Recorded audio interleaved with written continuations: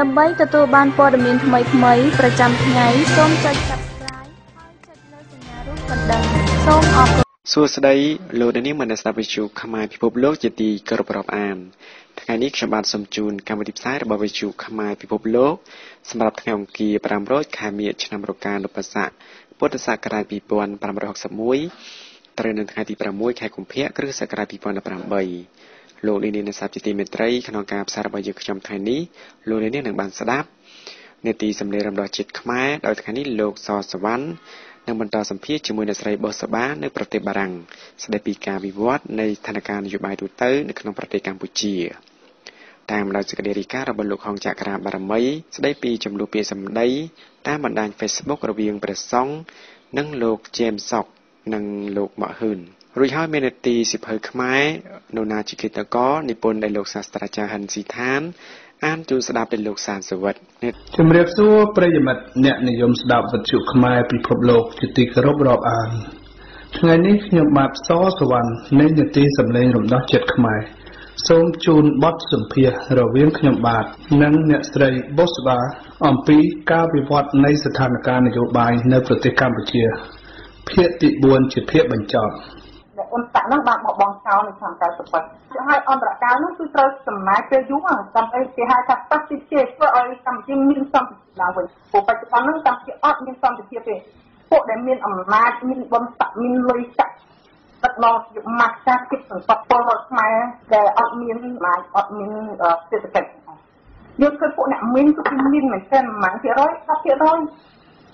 ហែលភាគរយ10%ប្រហែលជាមានខ្លាំងទៅ10ភាគមកភាគរយពីពីរត់ប៉ុន្តែអ្នកមានហ្មងហ្មងបាទ10ភាគរយប៉ុន្តែខ្ញុំឃើញនៅក្នុងអាការសម្ភាររបស់លោកតាមលៃក៏ថា80%ដែលរស់នៅក្នុងស្ថានភាពរងគ្រោះក៏បានទៅជាង2ដុល្លារ3ដុល្លារអីក្នុងមួយថ្ងៃអញ្ចឹងគឺហើយបើយើងប្រៀបធៀបពីក្រុមសម្លេងអីគឺគាត់ពួកបាយតែមនុស្សជាង80%ដែលរងពួកដែលអត់រងគ្រោះហើយពួកដែលពួកដែលជាមានលុយកាក់ហ្នឹងគេដឹកនាំបែបម៉ាត់ការគេការពារ សំបតិជាសាជាបតទៅនៅពីក្រោយឲ្យឲ្យអំណាចដែរអញ្ចឹងការផ្លាស់ប្ដូរតាមតលិកថាគឺជាក្នុងខាងការបច្ចុប្បន្នហ្នឹងហ៊ុនសែនប្រគល់ឲ្យសំរងស៊ីគឺក៏កម្មឆាំងក៏អត់អាចពួកហ្នឹងក៏អត់អាចគ្រប់គ្រងបានព្រោះ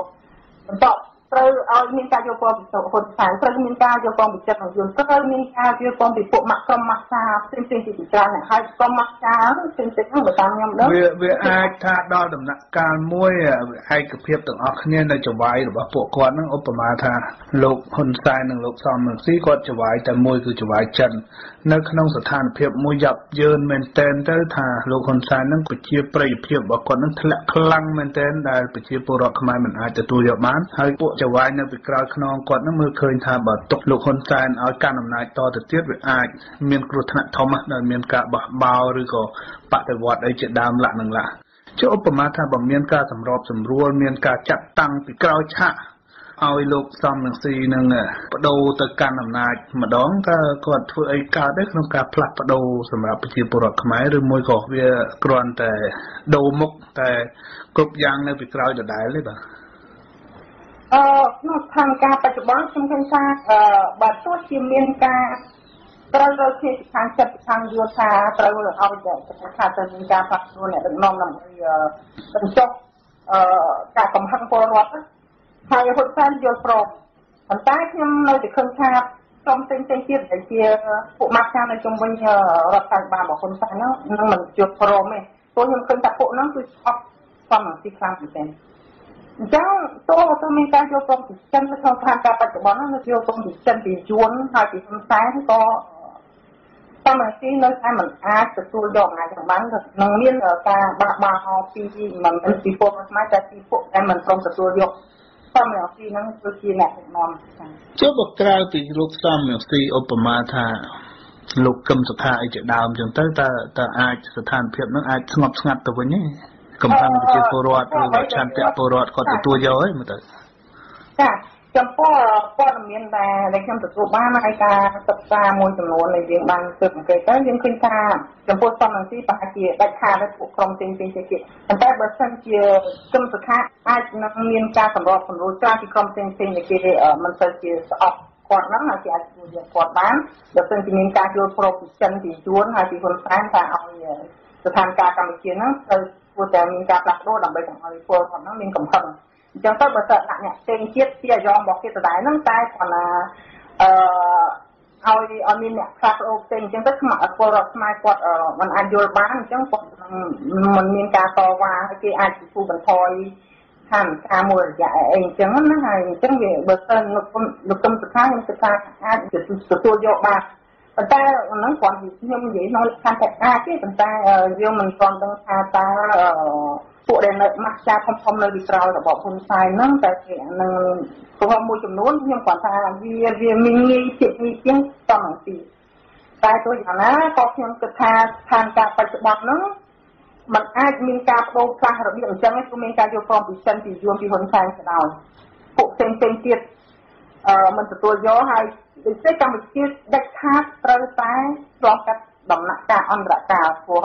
បើសិនអមមាថាយើងមានការយល់ស្របពីចិនពីយួនឲ្យដូរកម្មថាពីពីខាងហ៊ុនសែនប្រហែលជាមិនមានការយល់ស្របពីខាង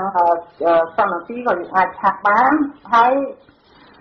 មានការយកស្របមួយចំនួនពីពួកម៉ាស់ចានជំនាញហ៊ុនសែនប៉ុន្តែមិនទាំងអស់ដូច្នេះស្ថានភាពនៅតែនឹងមានអាចមានការកលចាក់អីណាមួយចំនួនដែលយើងមិនអាចគិតបានអាហ្នឹងទី1ទី2គឺដែលចំពោះពលរដ្ឋខ្មែរគាត់នឹងអាចមានការធូរស្រាលចិននឹងយួនគេដើម្បីបន្លំគេអាចធ្វើឲ្យស្ថានភាពនោះធូរស្រាលឲ្យយើងបន្លំជាងមួយរយៈអញ្ចឹង ប៉ុន្តែខ្ញុំគិតថានឹងអាចមានការបដូរផ្លាស់អីវិជ្ជមានសម្រាប់ប្រទេសជាតិយើងឃើញថាចិនដែលគេគេមានបំណងយកកម្ពុជាហ្នឹងគឺមិនមែនកម្ពុជាហ្នឹងវាវាវាធនធានអស្ចារ្យដែលចិនត្រូវទៅយកប៉ុន្តែវាជាតំបន់មួយគេហៅថាភូមិសាស្ត្រយុទ្ធសាស្ត្រដល់ពេលដែលចិនយកកម្ពុជាបានអញ្ចឹងគេអាចថយជើងនឹងយកយួនយកលាវហើយអាចថយជើងយកអាស៊ានទាំងអស់មកទាំងអស់តែម្ដងនៅពេលដែលគេយកបានស្ដាប់ណែនអំណាចហើយគេប្លន់សុនធានទាំងអស់ ហើយនេះគេនឹងអាចពង្រឹងអំណាចរបស់គេមែនទែនអញ្ចឹងជាតំបន់យុទ្ធសាស្ត្រមួយសំខាន់សម្រាប់ចិននៅពេលដែលគេបានសុនធានអស់គេអាចនឹងយកទៅផលិតជារបស់ប្រើប្រាស់អីផ្សេងៗទៀតយកមកលក់ដើម្បីវាយផ្សារនៅខាងប្រចាំប្រទេសសាសអឺរ៉ុបសាសនៅអាមេរិកមិនន័យថាគេយកបានធនធានវត្ថុធាតុដើមនឹងមានតម្លៃថោកបំផុតហើយផលិត ផលិតផលហ្នឹងឲ្យមានតម្លៃទាបបំផុតទាំងថ្លៃពលកម្មទាំងថ្លៃអីហ្នឹងដើម្បីយកមកប្រជែងនៅលើទីផ្សារអន្តរជាតិជាមួយនឹងមហាអំណាចផ្សេងទៀតមែនទេបាទមិនចាអញ្ចឹងខ្ញុំចង់និយាយគឺមិនមែនថាប្រជែងគឺចង់នឹងធ្វើសង្គ្រាមសេដ្ឋកិច្ចដើម្បីសម្រាប់ពួកខាងប្រទេសហើយដើម្បីឲ្យអាមេរិកហ្នឹងខ្លាយទៅជា មហាអំណាចថ្ងៃក្រោយមហាអំណាចសេដ្ឋកិច្ចទី1នៅលើពិភពលោកចូលចូលភាគីអាមេរិកវិញតើឯកភាពឯនៅបណ្ដោយឲ្យចិនធ្វើអញ្ចឹងបានទេបាទមកបើស្ថានភាពវាអាចទៅជាតានតឹងអញ្ចឹងចឹងគេមានបំណងថាគេចង់ធ្វើអញ្ចឹងរហូតដល់គេឈានបានទៅជាមហាអំណាចជំនួសអាសហរដ្ឋអាមេរិកអញ្ចឹងបានគេមានការប្រកួតប្រជែងពីសហរដ្ឋអាមេរិកហ្នឹងខ្ញុំនិយាយពីយុទ្ធសាស្ត្រហើយយុទ្ធសាស្ត្រអាមេរិកក៏គេមានយុទ្ធសាស្ត្រស្តៀងទៅដែរទីមួយចង់ឲ្យចិនហ្នឹងយកស្រុកខ្មែរយកលៀប ហើយឲ្យយួននឹងខ្លាំងទៅយួនយកអាស៊ានទាំងមូលដើម្បីប្រឈមជាមួយចិនព្រោះកន្លែងអញ្ចឹងមកខ្ញុំថាកម្ពុជាជាតំបន់យុទ្ធសាស្ត្ររបស់គេធំមិនមែនជាតំបន់យុទ្ធសាស្ត្រមិនមែនជាតំបន់យុទ្ធសាស្ត្រពិភពលោកអញ្ចឹងបើតើយួនយកបានកម្ពុជាយកហើយយកបានយកអាស៊ានអញ្ចឹងហើយពួកប្រចាំប្រទេសនៅក្រៅយួនអញ្ចឹងចិនមិនមានបញ្ហាអញ្ចឹងចិត្តតែខាតមិនលែងកម្ពុជាវាអត់លែងព្រោះថាកន្លែងហ្នឹងជាសរសៃចងងាប់របស់វា ចឹងវាបើចាគេចិត្តកន្លែងហ្នឹងបានគេចិនហមហើយអាមេរិកចឹងដែរបើសិនគេយកប្រទេសកម្ពុជាបានគឺថ្ងៃក្រោយវានឹងមានបញ្ហាអញ្ចឹងការប្រជែងគ្នារវាងចិននិងជួននៅក្នុងដំណាក់កាលបច្ចុប្បន្នខ្ញុំស្គាល់ហើយសំខាន់ចំណុចសំខាន់មែនទែនអញ្ចឹងបានជាមានពួកខាងសភានៅអាមេរិកជាដើមគេខំខ្នះខ្នែងជួយពួកបដិឆាំងចូលនៅក្នុងចំណុចហ្នឹងគឺគឺមានផលប្រយោជន៍នៅពីក្រោយដែលគេលាក់តែគេថាហ្នឹងដើម្បីពលរដ្ឋខ្មែរលាក់នោះ ដល់ដើម្បីពលរដ្ឋខ្មែរគេគេធ្វើឲ្យគេក្រុមទីក្រុមប៉ារីស30ឆ្នាំ91ហ្នឹងដំណើរការបានហើយគេមិនមែនមិនដាក់ឲ្យយូរសម្រាប់ខ្មែររហូតដល់បច្ចុប្បន្នតែហ្នឹងគឺយុទ្ធសាស្ត្ររបស់គេតែគេគេចង់ប្រាស្រ័យថាតំបន់ហ្នឹងទៅឲ្យយូរឲ្យយូរគ្រប់គ្រងហើយគេឲ្យគេជួយយូរទៅបាក់ចិត្តកុំឲ្យចឹងស្លាប់គេទៅតែចឹងអញ្ចឹងក៏មានតំបន់ចឹងអញ្ចឹងជាតំបន់យុទ្ធសាស្ត្រតែចំពោះយើងជាម្ចាស់ទេ ហើយយើងមានកិច្ចព្រមព្រៀងក្រុងប៉ារីសយើងឯងយើងអត់អាចទៅធ្វើខ្ញុំថាយើងអាចយើងអាចធ្វើយើងទៅតែមានការជឿទុកចិត្តរបស់ខ្លួនឯងទៅតែមានសមាធិចិត្ត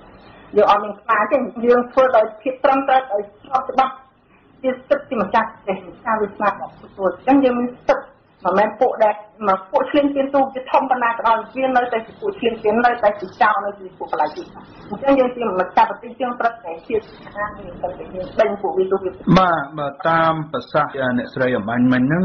អ្នកស្រីថានៅប្រទេសកម្ពុជាយើងដើម្បីជៀសឲ្យផុតពីវិបត្តិនយោបាយដ៏ធ្ងន់ធ្ងរនេះត្រូវតែមានដំណាក់កាលអន្តរកាលមួយដើម្បីឈ្មោះទៅកាន់លទ្ធិប្រជាធិបតេយ្យពិតប្រាកដនៅក្រៅពេលដែលយើងអាចផ្ដួលរំលំឬក៏ដូររបបផ្ដាច់ការបច្ចុប្បន្ននឹងចេញតើអ្នកស្រីអាចបញ្យល់ទេដំណាក់កាលអន្តរកាលហ្នឹងគេធ្វើយ៉ាងម៉េចហើយអ្នកណាដែលអាចធ្វើបានបាទចាអឺនិយាយទៅដំណាក់កាលអន្តរកាលហ្នឹងយើងធ្លាប់ឃើញពួកអន្តៈបានធ្វើពីឆ្នាំ91ដល់ឆ្នាំឆ្នាំ93រហូតដល់មានការបាទហ្នឹងដោយសារមានការឯកភាពគ្រប់ភាគីដែលចំនួននៅក្នុងនយោបាយកម្ពុជាប៉ុន្តែបើសិនជាភាគីផ្សេងផ្សេងគឺមិនឯកភាពគ្នាឧបមាថា ភាគីអ្នកខាងការដំណើរចុះតំណាងឲ្យរដ្ឋាភិបាលក្រុងភ្នំពេញបច្ចុប្បន្នចុះបើគេជាប់ផលប្រយោជន៍ជាមួយនឹងចវាយនាយគេជាមួយនឹងបរទេសរឿងអីដែលគេមកឯកភាពដើម្បីឲ្យយើងធ្វើដំណាក់កាលអន្តរកាលហ្នឹងទៅផ្លាស់ប្ដូរគេទី1ទី2 បើសិនជាគណៈបកដែលតាំងខ្លួនជាគណៈបកប្រឆាំងហ្នឹងគាត់អត់មានឆន្ទៈគាត់ចង់ផ្លាស់ប្ដូរតែដូរហ៊ុនសែនចេញដាក់គាត់ម្ដងហើយអ្វីៗនៅដដែលអញ្ចឹងទៅគាត់អត់មានឆន្ទៈតែបានន័យថាកម្លាំងនយោបាយពីរធំធំហ្នឹងមិនឯកភាពតែនៅកម្លាំងខ្មែរយើងនៅកន្លែងណាហើយអ្នកណាដែលអាចតំណាងឲ្យឆន្ទៈខ្មែរពិតប្រាកដហ្នឹងទៅធ្វើដំណាក់កាលអន្តរកាលហ្នឹងបានបាទ ចា៎នោះដែលយើងបានព្យាយាមធ្វើជាច្រើនឆ្នាំមកហើយគឺឲ្យរដ្ឋខ្មែរពួកគាត់ចងក្រងជាជាអង្គការជាសហព័ន្ធមួយធំស្ថាប័នមួយដើម្បីតម្រូវឲ្យគណៈបកនេះបាននៅអន្តរជាតិធ្វើអ្វីជាដែលយើងទាមទារចង់បានដំណាក់កាលអន្តរការកាលជា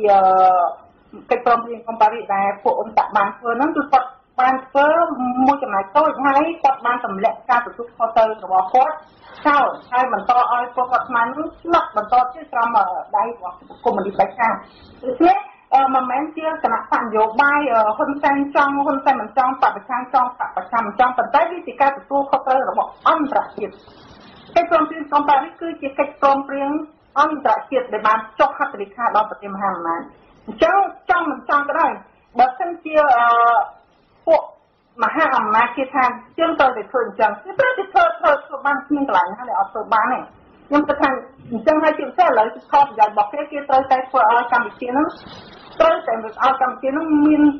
មានអធិបតេយ្យមិនឲ្យប្រទេសមហាអំណាចណាមួយលុបយកកម្ពុជាធ្វើជាប្រទេសរបស់ខ្លួនហើយវាយវហាបង្កើតសង្គ្រាមដើម្បីវាយគ្នាទៅវិញទៅមកទៀតទេអញ្ចឹងដំណាក់កាលអន្តរការហ្នឹងធ្វើឲ្យជារឿងមួយដែលដែលសំខាន់ ដែលត្រូវចាំបាច់ទៅទៅធ្វើបើដើម្បីជាសង្គ្រាមហើយពលរដ្ឋខ្មែរត្រូវតែមានការទៀមទាគាត់ពួកគាត់ត្រូវតែទៀមទាយើងបានសំភាវនេះយើងបានធ្វើសពយ៉ាងទាំងអស់ដើម្បីឲ្យពួកគាត់ជួលពីបញ្ហាហ្នឹងត្រូវពួកគាត់ត្រូវចងក្រងទៀមទាថាកម្ពុជាដើម្បីមិនជាសង្គ្រាមនេះដូចខ្ញុំបានលើកឡើងមកគឺត្រូវរៀបចំដំណាក់កាលអន្តរកាលឡើងវិញហ្នឹងឲ្យបានហើយគឺនៅពេលដែលយើងត្រូវដកកម្លាំងម៉ាក់ឆាសេដ្ឋកិច្ចម៉ាក់ឆានយោបាយ ពួកអឺឆ្លៀនឈានពួកស្អីស្អីហ្នឹងពួកចិនពួកយួនហ្នឹងដែលកំពុងតែមករៀបចំមូលដ្ឋានយោធានៅកម្ពុជាដើម្បីដាក់ពីថ្ងៃក្រោយហ្នឹងអញ្ចឹងទាំងអស់ហ្នឹងត្រូវត្រូវតែមានដំណាក់កាលអន្តរកាលអន្តរជាតិដើម្បីឲ្យពួកគាត់ហ្នឹងធ្វើឲ្យកម្ពុជាមានសន្តិភាពឡើងវិញមុននឹងយើងរៀបចំការស្នើឲ្យដំណាក់កាលអន្តរកាលហ្នឹងប្រហែលជាទៅជាជាពេលវេលាមួយយូរហើយអញ្ចឹងបានជារឿងមួយដែលយើងចង់ឲ្យពលរដ្ឋខ្មែរមានស្ថាប័ន ពលរដ្ឋមួយពួកគាត់នឹងត្រូវសហការជាមួយអន្តៈមិនមែនអន្តៈជាអ្នកធ្វើទេម្ដងហ្នឹងគឺយើងតាមមុនគេមានក្រុមប្រឹក្សាចង់ពួករបស់កម្ពុជាដែលសិទ្ធិពួកដែលដឹកនាំដោយពួកអ្នកដែលថប់សម្រាប់ខ្មែរនឹងទៀតមានស្អីស្អីបាក់មួយចំនួនបាក់មកផងទៀតនោះដែលថប់ហ្នឹងគេឲ្យកម្មខាងក្រុមប្រឹក្សាជាន់ខ្ពស់ហ្នឹងដើម្បីសហការឧត្តមក្រុមប្រឹក្សាជាន់ខ្ពស់ចា យើងចង់បានដំណាក់កាលអន្តរការថ្មីនេះគឺចង់បានឲ្យអន្តរជាតិសហការជាមួយជាមួយស្ថាប័នខ្មែរពលរដ្ឋខ្មែរគឺពលរដ្ឋខ្មែរជាអ្នកនឹងសហការថាយើងត្រូវធ្វើយ៉ាងណាយ៉ាងណាអឺដើម្បីការពារផលប្រយោជន៍ពលរដ្ឋខ្មែរដើម្បីការវិអ្វីជាផលប្រយោជន៍របស់ខ្មែរអត់អនុញ្ញាតឲ្យពួកអ្នកនយោបាយដែលខូចទាំងអស់ហ្នឹងមកធ្វើឲ្យតាមចិត្តបានទេអញ្ចឹងអឺអ្វីដែលជាសំណុំពររបស់ខ្ញុំហើយយើងធ្លាប់បាននិយាយគ្នាតាក់ទងនឹងតាមបង្កើតក្រុមអន្តរការ ជាសកតៃជាដើមហ្នឹងដែលជាស្ថាប័នមួយយើងចង់ឲ្យពលរដ្ឋមានអំណាចប្រកួតបំណាច់ទៅលើពលរដ្ឋហើយយើងរៀបចំគោលការណ៍នៅក្នុងការសហការជាមួយអន្តរជាតិតែត្រូវធ្វើម៉េចដើម្បីការពារផលប្រយោជន៍ប្រទេសជាតិដើម្បីការពារផលប្រយោជន៍ពលរដ្ឋទាំងអស់ហ្នឹងប្រឈមជាមួយពួកបរទេសក៏ដោយជាមួយពួក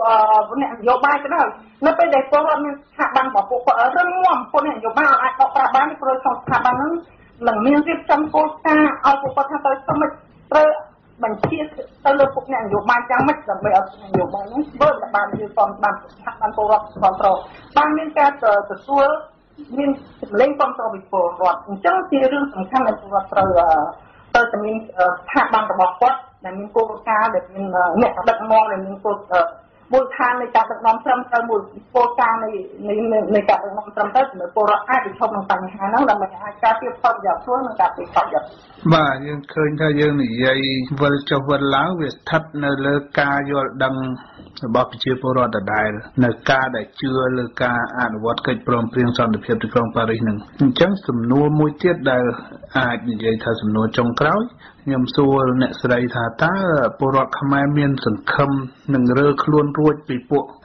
អាណានិគមទាំងពីរហ្នឹងទេពីព្រោះគេរៀបចំឈ្លានពាន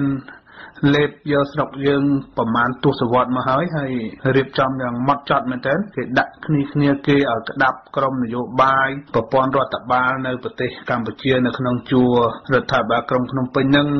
ហើយគេមានកូនចៅផងគេចំនួនក្រោយ តាមគ្រប់រូបភាពទៅថាចិនទៅគេឈ្លានពានកម្ពុជាតាមរបៀបវប្បធម៌យកមកសាបព្រោះឲ្យខ្មែរយើងទទួលយកអីអញ្ចឹងទៅហើយខាងភាគីយួននោះគេឈ្លានពានបែបប្រជាសាស្ត្របានន័យថាគេជំរុញឲ្យប្រជាពលរដ្ឋគេនឹងមករស់នៅតាំងទីលើទឹកដីយើងនៅកកកក្រែងអញ្ចឹងទៅតែយើងមានសង្ឃឹមថាខ្មែរអាចរួមគ្នាបានដើម្បីប្រឆាំងនឹងពួកឈ្លានពានអស់ទាំងហ្នឹងហើយរើខ្លួនរួចទេមើលទៅជាជាសំណួរចុងក្រោយចាខ្ញុំឃើញពលរដ្ឋខ្មែរនៅក្នុងស្រុកដីនៅក្រៅប្រទេសដីគាត់មានការផលផុសគាត់មានការឈឺចាប់ គាត់ចង់គាត់ឃើញបរទេសចូលមកប្លន់ប្រទេសជាប្លន់ធនធានគាត់មានការឈឺចាប់គាត់ចង់បានការផ្លាស់ប្ដូរ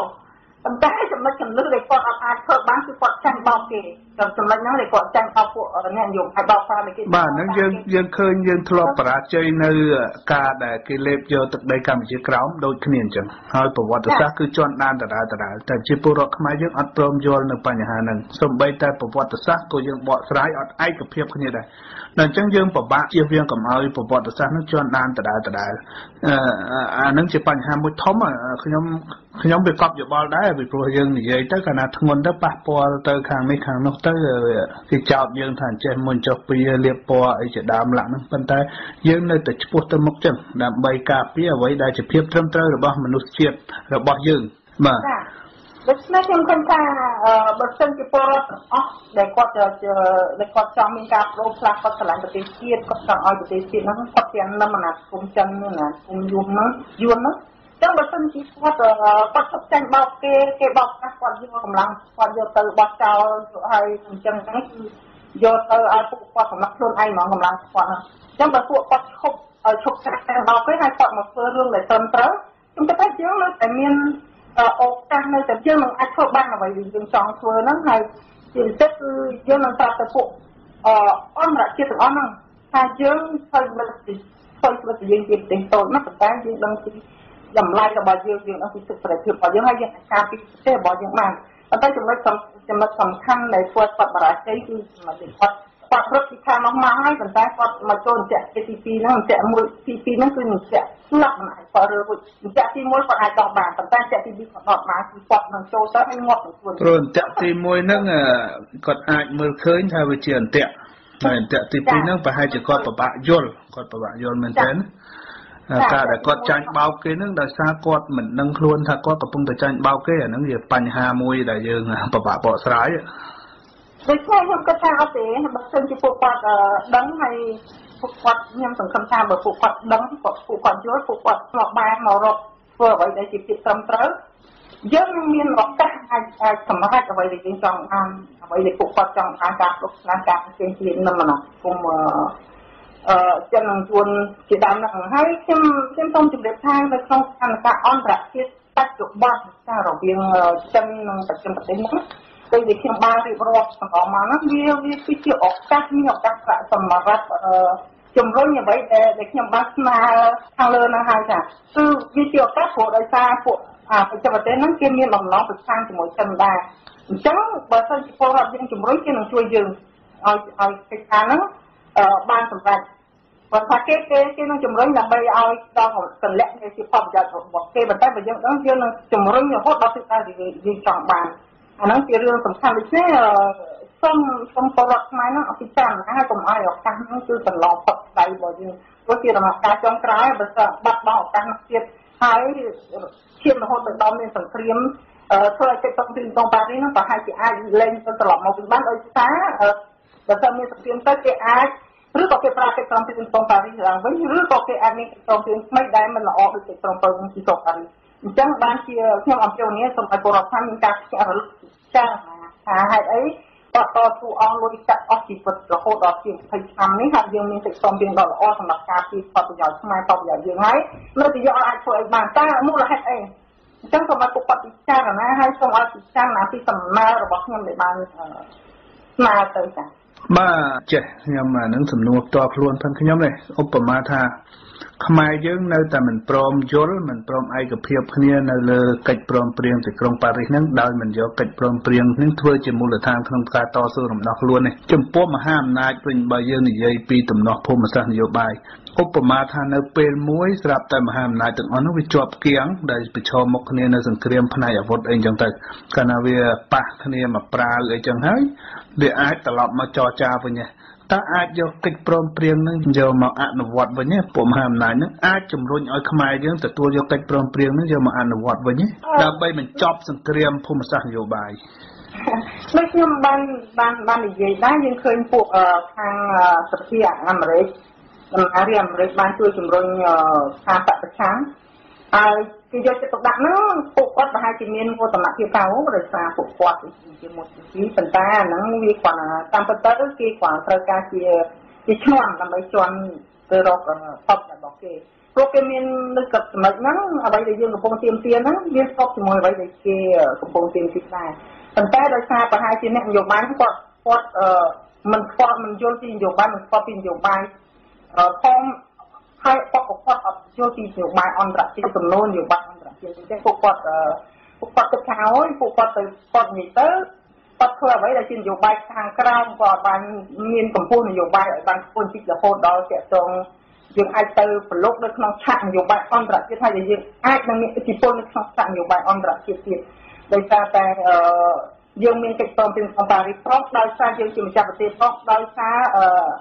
ស្ថានភាពនៅក្នុងតំបន់វាហុចផលប្រយោជន៍របស់យើងដើម្បីយើងទៀមទាដែលយើងសហការជាមួយពួកហ្នឹងហើយបើសិនពលរដ្ឋខ្មែរចេះយល់ដឹងគឺពួកគាត់នឹងមិនមែនជំរុញត្រឹមតែការពីផលប្រយោជន៍អាកាំងផលប្រយោជន៍ពួកជនប្រទេសនៅតំបន់នេះប៉ុន្តែយើងនឹងជំរុញឲ្យពួកហ្នឹងរុញទៅដល់ផលប្រយោជន៍អ្វីដែលយើងចង់បានដូចខ្ញុំបាននិយាយយើងចង់បានអ្វីគឺយើងត្រូវតែមានការអនុវត្តកិច្ចព្រមព្រៀងកុងប៉ារីដូច្នេះដើម្បីឈានទៅរក ការបោះឆ្នោតសេរីត្រឹមត្រូវជាធម៌គឺត្រូវដាច់ខាតត្រូវតែធ្វើឲ្យកម្ពុជាហ្នឹងអឺក្នុងកដំណាក់កាលអន្តរកាលធ្វើឲ្យកម្ពុជាមានសន្តិភាពដកកម្លាំងម៉ាស់ចាសេដ្ឋកិច្ចកម្លាំងម៉ាស់ចាឆ្លៀនពៀនកម្លាំងម៉ាស់ចានយោបាយចេញពីកម្ពុជាអស់ហើយតើតែថាយើងអាចមានសិទ្ធិសេរីភាពពេញលេញនៅក្នុងការបង្កើតគណៈបកនយោបាយមិន ខាងឬក៏គណៈនយោបាយអីដែលមិនចាំបាច់ធ្វើអាយ៉ងរបស់ពួកគាត់ទេអាយ៉ងរបស់ពួកហើយតដល់ដំណាក់កាលនឹងហើយថាមានការធានាហើយមានលក្ខខណ្ឌមួយចំនួនទៀតដើម្បីជិះទៅរកការបោះឆ្នោតសេរីពីផតខ្ញុំបានធ្វើបទអន្តរាគមមួយទាក់ទងរឿងហ្នឹងតើមានលក្ខខណ្ឌអីខ្លះមិនមែនដូចពួកពួក អ្នកនយោបាយដែលគេកំពុងតែនិយាយបោកប្រាស់ហ្នឹងគឺមានលក្ខខណ្ឌមួយច្បាស់លាស់ដើម្បីដើម្បីជិះទៅរកការបោះឆ្នោតសេរីពីផតមិនមែនគ្រាន់តែឲ្យសំរងស៊ីអឺឬសំស្ថាចូលរបស់ខ្នោមានវិជាសក្តិមានសក្តិរីវិទ្យាធម៌អាហ្នឹងគឺការបោកប្រាស់ដល់ពលរដ្ឋខ្មែរជឿលឿហ្នឹងគឺពួកគាត់កំពុងតែសម្លាក់ខ្លួនឯងសម្លាប់ពីខ្លួនឯងខ្ញុំបាននិយាយពីលក្ខខណ្ឌចំនួនថាស្អីទៅការបោកខ្នោអញ្ចឹងអឺយើងអាច ចេះជាថ្ងៃក្រោយទៀតបាទអឺសម្រាប់ថ្ងៃនេះខ្ញុំសូមអរគុណផងដែរហើយអ្នកស្រីមានស្អីជាអនុសាសន៍សម្រាប់ឲ្យបងប្អូនប្រជាពលរដ្ឋខ្មែរយើងនៅក្រៅស្រុកធ្វើការតស៊ូនឹងឲ្យស្ថិតនៅក្នុងផ្លូវត្រូវហើយដើម្បីឲ្យបានផលប្រយោជន៍ខ្មែរពិតប្រាកដទេបាទចាអឺតែខ្ញុំមកតែទីនេះគឺសូមពួកគាត់ចាពីចំណុចហេតុអីបានជាការតស៊ូរបស់គាត់អឺ ពីជាង20ឆ្នាំការលះបង់របស់គាត់លះបង់អាយុជីវិតរបស់ពលរដ្ឋខ្មែរជាច្រើនហើយយើងមានអ្វីៗទាំងអស់ដើម្បីធ្វើឲ្យពលរដ្ឋខ្មែរទទួលបានសេរីភាពទទួលបានលទ្ធិប្រជាធិបតេយ្យមានការអនុវត្តជាធិបតេយ្យបានត្រឹមត្រូវហើយពលរដ្ឋខ្មែរអាចជ្រែកប្រអាននឹងការជឿនលឿនទឹកប្រកបនឹងទឹកសេរីភាពដែលបានតាមរយៈការកិច្ចព្រមព្រៀងកុងប៉ារីសជាមួយដុល្លារគឺយើងមានទាំងអស់ប៉ុន្តែចំណុចដែលយើងដែលយើងមិនអាចធ្វើបានគឺមានតែកលឹះមួយគត់ ហើយបើសិនពួកគាត់ចូលពីបញ្ហាហ្នឹងគឺយើងអាចយើងអាចបានចា អរគុណបាទអរគុណសម្រាប់ថ្ងៃនេះអរគុណអ្នកស្រីច្រើនដែលចំណាយពេលវេលាយ៉ាងច្រើនមកចូលរួមបកស្រាយដើម្បីផ្ញើជាសារមួយដល់ប្រជាពលរដ្ឋខ្មែរទាំងក្នុងនិងក្រៅប្រទេសនិងប្រិមិត្តអ្នកស្ដាប់វិទ្យុខ្មែរពិភពលោកផងដែរបាទអរគុណអ្នកស្រីហើយយើងសង្ឃឹមថាយើងអាចជួបគ្នាជាបន្តបន្ទាប់ទៀតដើម្បីបកស្រាយនៅបញ្ហាផ្សេងផ្សេងការវិវត្តនៃបរិបទនយោបាយក្នុងស្រុករបស់កម្ពុជាបច្ចុប្បន្នហ្នឹងបាទអរគុណអ្នកស្រីបុស្បាបាទ ចាអរគុណជំរាបលាចាបាទជំរាបលាបាទរៀបសួរលោកនាងមានស្ដាប់វិទ្យុខ្មែរពិភពលោកជាទីគោរពរាប់អានជួបគ្នាទៀតនៅក្នុងនេតិអានសភៅរឿងនរណាជាឃាតកររបស់លោកសាស្ត្រាចារ្យហ៊ិនស៊ីថានដែលកាលពីម្សិលមិញខ្ញុំអានចាប់ជំពូកទី6ថ្ងៃនេះសូមចូលជំពូកទី7បាទ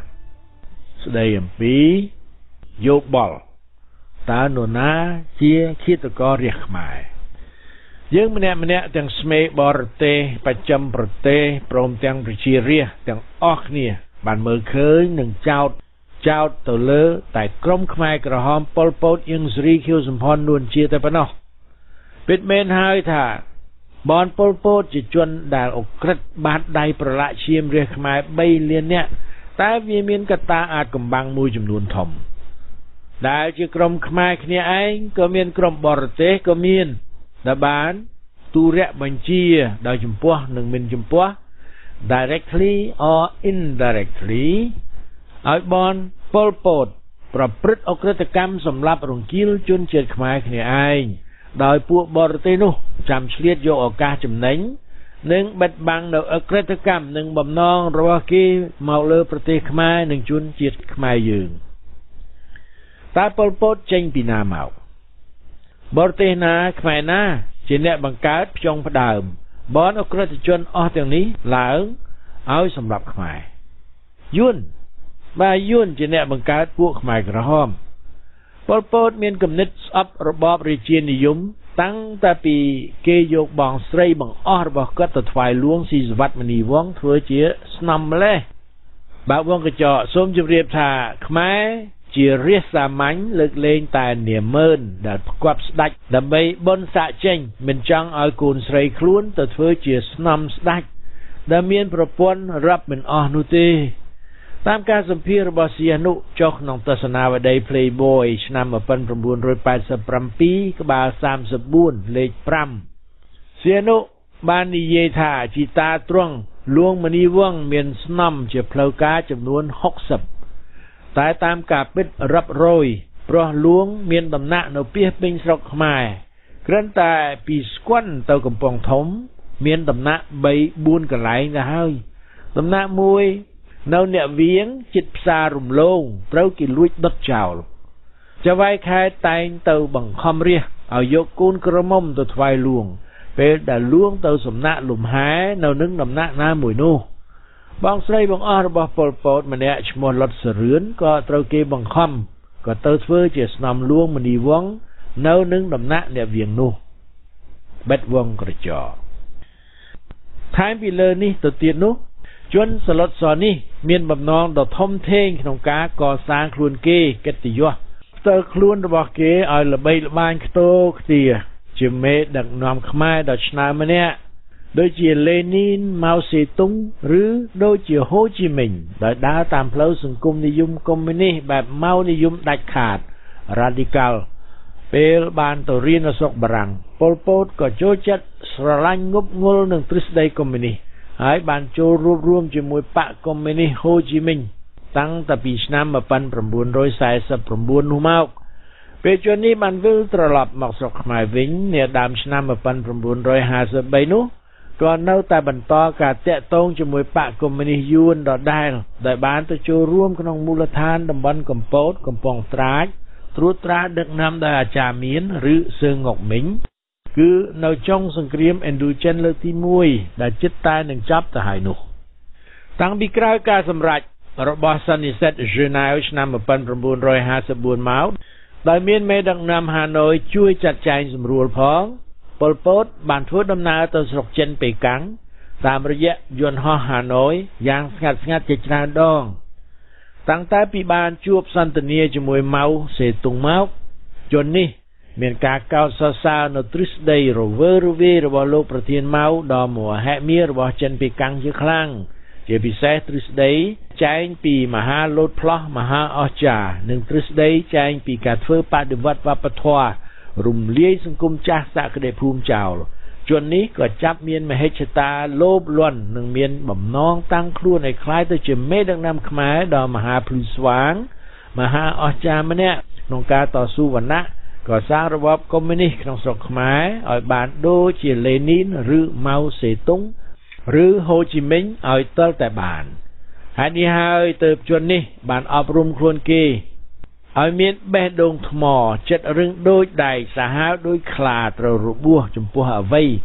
ដែលមកពាំងមករៀបរៀងនៅគោលបំណងដ៏ធំធេងរបស់គេនោះជននេះត្រូវតែកំទេចចោលទាំងអស់ដោយសារចិត្តមានអ្នកបដូរផ្ដាច់បែបយ៉ាងនេះហើយជននេះក៏បានคลายមកជាមនុស្សគ្មានមនោសញ្ចេតនាជាពិសេសរវាងប្តីប្រពន្ធដែលធ្វើឲ្យអ្នកគ្រូខៀវប៉ុណ្ណារីคล้ายទៅជាឈួតវក់ក្នុងឆ្នាំ1978 ហើយប៉ុលពតក៏យកប្រពន្ធមួយថ្មីទៀតទៅដើម្បីធ្វើសង្គមឲ្យបានជឿនលឿនคล้ายជាសង្គមនិយមពិតប្រាកដនោះ គេត្រូវតែធ្វើបដិវត្តមួយឲ្យខ្លាំងក្លាពលគឺត្រូវតែកំទេចឲ្យអស់ពួកសក្តិភូមិវណ្ណៈអ្នកដឹកនាំចំនួនរបបចាស់អ្នកទីក្រុងនាយទុនជាពិសេសត្រូវសម្លាប់អ្នកចេះដឹងចោលមុនឲ្យអស់សិនព្រោះតាមអវាទរបស់ម៉ៅសេតុងថា បើទុកពួកអនេះឲ្យរស់នៅ ពួកនេះដែលចេះពិចារណារោគហេតុផលច្រើននឹងបង្កើតឲ្យមានជាគំនិតសាររើនិយម ប្រឆាំងតបជាមួយគំនិតសង្គមនិយមកុម្មុយនីសវិញជាមិនខានឯគ្រឹះវប្បធម៌ជំនឿសាសនាសិល្បៈក្នុងរបបចាស់ក៏ត្រូវតែបំផ្លាញចោលទាំងអស់ដែរបើប៉ុណ្ណោះទេការធ្វើបដិវត្តឈានផ្លោះទៅរកសង្គមនិយមពិតប្រាកដនោះនឹងមិនបានសម្រេចជោគជ័យដល់គោលដៅសោះឡើយ។ នេះហើយជាជំនឿផ្កាប់មុខរបស់បនប៉ុលពតហើយជាបំណងរបស់មេដឹកនាំចិនដែរក្នុងការយកស្រុកខ្មែរមកធ្វើការពិសោធន៍នៅទ្រឹស្ដីរបស់លោកប្រធានម៉ៅដ៏មហិមារបស់គេថាតើទ្រឹស្ដីម៉ៅនោះអាចទទួលជោគជ័យឬទេហើយចំណែកមេដឹកនាំយួនវិញបានយល់និងដឹងពីគំនិតរវើរវាយរបស់លោកប្រធានម៉ៅដ៏មហិមាច្បាស់លាស់ណាស់ និងដឹងពីគោលបំណងរបស់ចិនប្រុងយកវៀតណាមដោយជាចិនបានរំលោភយកប្រទេសទីបេក្នុងឆ្នាំ1959ដែរព្រោះយួនធ្លាប់បានភ្លក់មេរៀនជូរចត់ក្រោមការត្រួតត្រារបស់អធិរាជចិន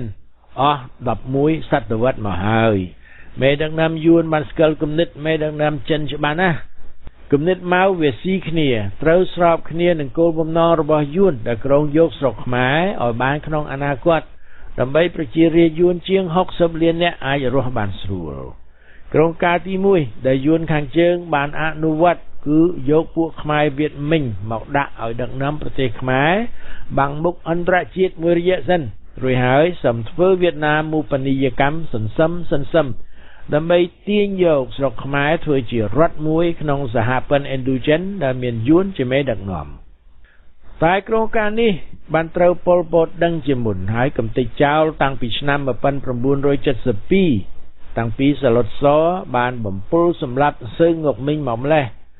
ការកំទេចផែនការយួននេះបានធ្វើជាបន្តបន្តមកទៀតរហូតដល់ឆ្នាំ1978ដោយជាការចាប់សម្លាប់ ពួកពាយប់ទិសក្រុមមូលសម្បត្តិនៅថ្ងៃទី18មិថុនា1978ជាដើមផែនការទី1បានខូចអាសាបងអស់ហើយដោយសារស្នាដៃប៉ុលពតហេតុនេះមេដឹកនាំយួនរងចាំមើលផែនការទី2ដែលយួនបានធ្វើសម្របទៅនឹងទ្រឹស្ដីម៉ៅគឺបំផុសបំផុលផ្ទៃក្នុងស្នូលដឹកនាំខ្មែរក្រហម ធ្វើឲ្យប៉ុលពតឈួតវក់វីសម្រាប់លេងសំចៃដៃសំបីគ្រាន់តែសង្ស័យក៏ត្រូវតែយកមកសម្រាប់ចោលដែរនិងសម្រាប់រួមទាំងខ្មែរ17មេសាឲ្យផុតពូជពួកសំណល់សង្គមចាស់តែម្ដងក្នុងរវាងឆ្នាំ1977ប៉ុលពតក៏ធ្លាក់ចូលទៅក្នុងអន្ទាក់ទី2របស់មេដឹកនាំយួនដែលដេករិះគិតរោគតែមធ្យោបាយយកស្រុកខ្មែរតាំងតែពីសម័យសីហនុមកម្លេះ ដោយឃើញខ្មែរងាកទៅរកចិនសត្រូវយួនយ៉ាងបដូរផ្ដាច់មេដឹកនាំយួនក៏តាក់ទងរុស្ស៊ីរកជំនួយយ៉ាងសន្ធឹកសន្ធាប់មកវាយខ្មែរប៉ុលពតឲ្យខ្មែរព្រមចូលរួមធ្វើជាសហព័ន្ធឥណ្ឌូចិនតាមគំនិតបកកុម្មុយនីសអន្តរជាតិស្របតាមគំនិតយួនដែលឲ្យយួនបង្កើតចលនាកុម្មុយនីសឥណ្ឌូចិនឡើងនៅឆ្នាំ1930នាទីក្រុងហុងកុង កាលនោះនៅមិនទាន់មានខ្មែរនិងឡាវជាសមាជិកបករបស់កុម្មុយនីសឥណ្ឌូចិននៅឡើយទេការលាងសម្អាតជំរះសង្គមដោយអនុវត្តវិធីសម្រាប់រង្គាលប្រជារាស្ត្រខ្មែរតាមទ្រឹស្ដីរវើរវាយរបស់លោកប្រធានម៉ៅដ៏មហិមានោះគឺប៉ុលពតបានដើរចូលទៅក្នុងអន្តៈទី2របស់មេដឹកនាំយួនដែលរងចាំឱកាសល្អនេះជាយូរមកហើយស្របពេលនឹងសេចក្តីអំពាវនាវរបស់លោកព្រឹទ្ធសភាអាមេរិក George McGovern បានសុំឲ្យគ្រប់ប្រទេសទាំងអស់កាលពីឆ្នាំ1978ដែលស្រឡាញ់សេរីភាពនិងយុត្តិធម៌បញ្ជូនកងទ័ពទៅវាយរំលំរដ្ឋាភិបាលខ្មែរក្រហមនោះមេដឹកនាំយួនក៏យកលេសនេះឯងហើយ លើកទ័ពក៏ក្រឹកក៏ក្រែងវាយលុកចូលប្រទេសខ្មែរដោយប្រើរថក្រោះបាញ់មិនឆេះរបស់សូវៀតនៅមុខ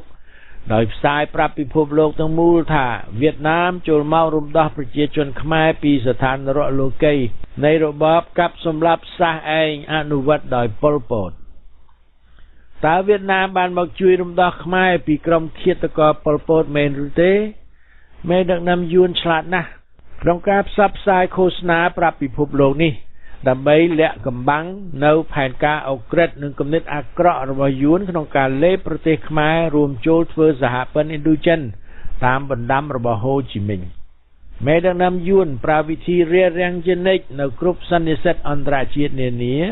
ដែលលើកឡើងក្នុងការស្វែងរកសន្តិភាពដល់ប្រទេសខ្មែរនិងប្រជារាស្ត្រខ្មែរនិងប្រើវិធីពន្យាពេលឲ្យវែងអន្លាយដើម្បីរៀបចំជាបណ្ដានៅផែនការវៀតណាមមូបនីយកម្ម រហូតមតិពិភពលោកនិងរាជខ្មែរទាំងអស់សុខចិត្តទទួលយកនៅសភាពបែបសពថ្ងៃនៃការឈ្លានពានរបស់វៀតណាមគឺ status quo ដោយប្រើភាសានយោបាយបណ្ដាបណ្ដាថា នយោបាយរបស់ប្រទេសឥណ្ឌូចិនទាំង3ជាដើម គឺក្នុងគោលដៅធ្វើសហព័ន្ធឥណ្ឌូចិននោះតែម្ដងប៉ុលពតនិងបពពួក មានអៀងសេរីតាមមុខនួនជាសុនសេន ជាអ្នកដៃដល់ទោះជាមិនចំពោះក៏ដោយ indirectly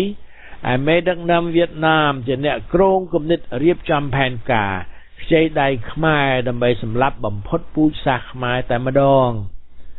គំនិតការអនុវត្តសម្រាប់រង្គាលរបស់បនប៉ុលពតដូចជាបានទទួលនៅប្រព័ន្ធទូរបញ្ជា remote control system ពីមេដឹកនាំក្រុងហាណូយអញ្ចឹង បើយួនមកជួយខ្មែរហេតុអ្វីក៏ចាំបាច់រងចាំរហូតប៉ុលពតអនុវត្តផែនការសម្រាប់រង្គាលរាជខ្មែររំលាយសង្គមខ្មែរខ្ទេចខ្ទីទើបបានធ្វើជាមកជួយរំលាយបន្ថែមកុំឲ្យសល់ដានទៀតសម្ដេចសៀនុជាអ្នករុញប្រជារាស្ត្រខ្មែរទាំងអស់ទៅចូលក្នុងរណ្ដៅមរណៈរបស់ប៉ុលពតដោយស្រែកបំពងអំពាវនាវពីក្រុងពេកាំងមកឲ្យកូនចៅទាំងអស់របស់ឪនាំគ្នារត់ចូលព្រៃ វាយកំចាត់ចក្រពត្តិអាមេរិកនិងបរិវារក្បត់លន់នល់សេរីមតៈទោះបីក្រោយពីយល់ស្កិលយ៉ាងច្បាស់នៅគំនិតបនប៉ុលពតបន្ទាប់ពីសម្ដេចសៀនុបានចូលទៅទស្សនាស្រុកខ្មែរក្នុងតំបន់រំដោះឆ្នាំ1973ហើយក៏ដោយក៏សម្ដេចសៀនុមិនបានឈប់ស្រែកអំពាវនាវបែបដដែលដដែលនេះរុញរាជខ្មែរទៅឲ្យប៉ុលពតវាយក្បាល និងត្បូងចប់អាកសម្លាប់នឹងធៀងថ្នោតថែមទៀតឡើយ កំហុសចិនលើកំហុសជួយយួនហាណូយរួចចូលជាមួយខ្មែរក្រហមទៀតសម្ដេចសៀនុគ្មានបានដោះស្រាយបញ្ហាខ្មែរណាមួយក្រៅតែពីបង្កើតបញ្ហាថែមឡើងឡើយសៀនុជាអ្នកចិញ្ចឹមបំពន់កម្លាំងខ្លាទាំងពីរឲ្យធំធាត់ឆាប់ទំពាលេបជីវិតរាជខ្មែរនិងស្រុកខ្មែរដោយសារតែកំហឹង ចង់សងសឹកពួកបនលន់នល់ស្រីមតៈតែប៉ុណ្ណោះតើប្រទេសខ្មែរនឹងត្រូវคล้ายជាចំណីប៉ាទី2ក្នុងអនាគតឆាប់ៗខាងមុខនេះឬតើកងទ័ពវៀតណាមនឹងចាកចេញពីស្រុកខ្មែរដោយស្រួលស្រួលឬទេហេតុការណ៍ទាំងអស់នេះគ្មាននរណាអាចទាស់ទាយត្រូវទាំងអស់បានឡើយតើមេដឹកនាំយួនប្រើយុទ្ធវិធីបែបណាក្នុងការរំលាយប្រទេសខ្មែរនេះ1 មេដឹកនាំយួនប្រើផែនការពន្យាពេលឲ្យយូរធ្វើឲ្យមតិពិភពលោកធុញទ្រាន់រហូតដល់តែខ្មែរនៅក្នុងប្រទេស បាក់ផ្នត់គំនិតជោគចំអាចរស់នៅ រួមគ្នាជាមួយនឹងយួនក្រោមការត្រួតត្រារបស់យួនហើយសុខចិត្តទទួលយកសញ្ជាតិជាជនជាតិឥណ្ឌូចិន2បញ្ចូលនិគមជនយួនឲ្យមកតាំងទីលំនៅជាង3លាននាក់ហើយលើតំបន់ ដ៏មានជីជាតិតាមមាត់ទន្លេមេគង្គនៅតំបន់សម្បូរត្រីបឹងទន្លេសាប ហើយបង្ខំឲ្យរបបអាយ៉ងយួនហេងសំរិនហ៊ុនសែនព្រមទទួលស្គាល់ពួកនិគមជនយួនទាំងនោះថាជាជនជាតិកម្ពុជាក្នុងគោលដៅយកឈ្នះប្រសិនបើមានការបោះឆ្នោតនៅកម្ពុជា ដើម្បីរក្សារបបអាយ៉ងនេះឲ្យមានជីវិតរស់រហូតទៅព្រោះបើរបបអាយ៉ងនេះរស់ ការចុះហត្ថលេខាទាំងអស់អំបាលម៉ានរបស់ហេងសំរិនក្នុងសន្ធិសញ្ញាប្រកល់ទឹកដីទៅឲ្យយួននោះចាត់ទុកជាបានការហើយខ្មែរនឹងត្រូវបាត់បង់ទឹកដីក្នុងអនាគតនេះបើគ្មានការប្រុងប្រៀបរៀបចំជើងព្រួលនយោបាយឲ្យបានដិតដល់ទៅនោះចំពោះនិគមជនយួនជិត2លានអ្នកនេះតើគណៈកម្មការអន្តរជាតិបានចាត់វិធានការក្តៅបង្ខំឲ្យចាកចេញពីដែនដីខ្មែរកើតឬទេ កងទ័ពយួនដែលចាកចេញទៅនោះ គឺក្រិនតែបកខោអាវទីហ៊ានចោលរួចស្លៀកពាក់ខោអាវស៊ីវិលត្រឡប់មករស់នៅក្នុងចំណោមនិគមជនយួនវិញតែប៉ុណ្ណោះ3មេដឹកនាំយួន មានបំណងជំរុញបង្កាត់ពូជខ្មែរយួនឲ្យមានកូនកាត់យួនខ្មែរកាន់តែច្រើនចេះនិយាយភាសាខ្មែរតែមានចិត្តគំនិតស្រឡាញ់ជាតិយួនជាង នេះជាវិធីរំលាយជាតិខ្មែរដែលប្រើរយៈពេលវែងហើយដែលយួនបានយកមកប្រើបានសម្រេចជោគជ័យរួចហើយនៅចម្ប៉ានិងថ្មីថ្មីនេះនៅកម្ពុជាក្រោមផែនការយន្តបនីយកម្មនេះអាចសម្រេចទៅបានអាស្រ័យទៅលើស្ថានភាពវិវត្តនៃប្រវត្តិសាស្ត្រពិភពលោកផងតែជាពិសេសនោះអាស្រ័យលើស្មារតីប្រជារាស្ត្រគ្រប់គ្រប់រូបតែម្ដង តើខ្មែរទាំងអស់សុខចិត្តឲ្យប្រទេសខ្មែរคล้ายទៅជាស្រុកយួនឬទេយួនគ្មានបំណងទៅទៅសោះក្នុងការចាកចេញពីប្រទេសខ្មែរដោយស្រួលស្រួលគ្មានការគៀបសង្កត់ពីអន្តរជាតិគ្មានការតស៊ូយ៉ាងបដូរផ្ដាច់របស់ខ្មែរក្នុងការវាយបណ្ដេញយួនឲ្យចេញពីដែនដីខ្មែរនោះទេមេដឹកនាំខ្មែរគ្រប់និន្នាការបានយល់រួចអស់ហើយពីពិសោធន៍នយោបាយខុស ខ្វះការពិចារណារបស់គេក្នុងអតីតកាលកន្លងមកថ្មីថ្មីនេះតើផ្លូវណាដែលអាចស្រោចស្រង់នៅការគង់វង្សនៃប្រជាជាតិខ្មែរអរិយធម៌វប្បធម៌ខ្មែរសិល្បៈនិងប្រទេសខ្មែរបានផ្លូវសម្រាប់ខ្មែររស់មានតែមួយគត់គឺការរួបរวมគ្នាជាធ្លុងមួយនឹងការលះបង់ពលិកម្មរបស់មេខ្មែរគ្រប់គ្រប់រូបសម្រាប់ប្រទេសនិងរាជខ្មែរពិតពិ តតែត្រូវប្រើរូបមន្តណាមួយដើម្បីសម្រេចនៅគោលការណ៍នេះ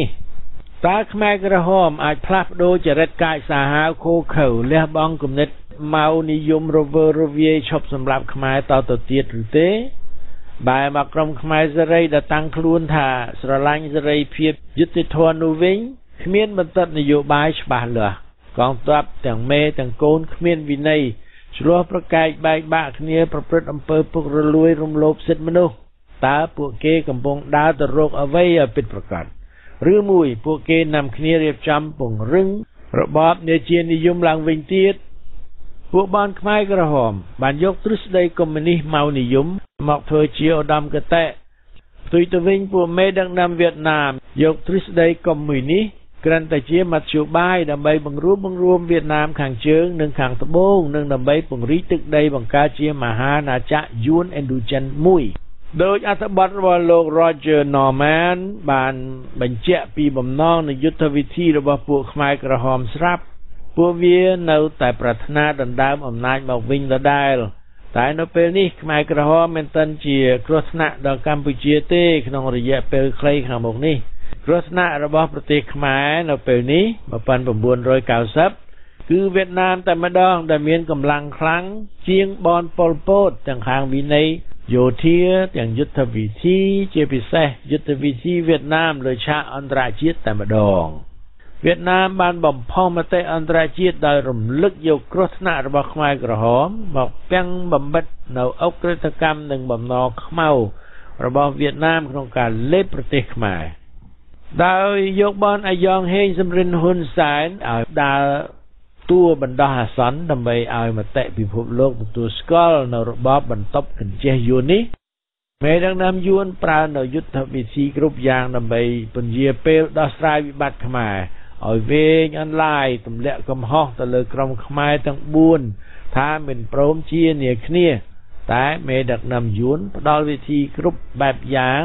ឲ្យអាយ៉ងភ្នំពេញរកលេសដើម្បីកុំឲ្យមានសន្តិភាពនៅស្រុកខ្មែរ ស្របទៅនឹងចិត្តគំនិតមេខ្មែរទាំងនោះផងដែរដែលសឹងតែលេងរវល់ពីអាណានិគមយួនផែនការយួននុបនីយកម្មការឆ្លៀនពៀនរបស់យួនបែរជាមកប្រកັບប្រចាក់គ្នាឈូឆរបង្កើតគណៈបកនយោបាយគ្មានដឹងទិសតំបន់ក្នុងវេលាដែលស្រុកទាំងមូលកំពុងស្ថិតនៅក្រោមការត្រួតត្រារបស់យួននោះមួយទៀតហ៊ុនសែនក៏នឹងត្រូវយួនដកដាក់ពួកអតីតខ្មែរវៀតមិញ មកជំនួសវិញក្នុងអនាគតខ្លីខាងមុខនេះ បើប្រសិនជាមេដឹកនាំយួនមើលឃើញថាហ៊ុនសែនគ្មានសមត្ថភាពគ្រប់គ្រាន់ក្នុងការផ្ដល់ផលប្រយោជន៍ឲ្យយួនទេនោះដោយដែលយួនបានបដូរដកមេដឹកនាំឡាវត្រង់សុផានវង្សដាក់លាវវៀតមិញកេសនភូមិវិហានជំនួសវិញដូច្នោះដែរ ការនាំគ្នាបង្កើតគណៈបកនយោបាយក្នុងស្ថានភាពប្រទេសខ្មែរនៅជាកញ្ជះយួនគឺខ្មែរទាំងអស់គ្នាកំពុងតែដើរចូលទៅក្នុងកលបាយរបស់មេដឹកនាំយួនហើយមេដឹកនាំយួនប្រើវិធីដដែលដដែលគឺបំបែកកម្លាំងឲ្យខ្សោយបំបែកដើម្បីត្រួតត្រា diviser pour régner មេដឹកនាំយួនធ្វើយ៉ាងណាឲ្យអន្តរជាតិជឿថាយួនពុំបានលូកដៃក្នុងរឿងផ្ទៃក្នុងរបស់ខ្មែរនោះទេ គឺពួកខ្មែរគ្នាឯងដែលប្រឆ្លោះដណ្ដើមអំណាចគ្នាហើយធ្វើឲ្យអន្តរជាតិគេជិះក្បាលគេលេងរវីរវល់នឹងរឿងខ្មែរតទៅទៀតអរលោកនាងមានស្ដាប់ជាទីគោរពរវានខ្ញុំសូមស្លេះអំណានសភៅរឿងនរណាជាឃាតកររបស់លោកហ៊ិនស៊ីថានតែប៉ុណ្ណេះសិនបាទហើយក្រោយនឹងលើកយកមកអានជូនស្ដាប់ជាបន្តថ្ងៃនេះសូមអរគុណនិងជម្រាបលាបាទ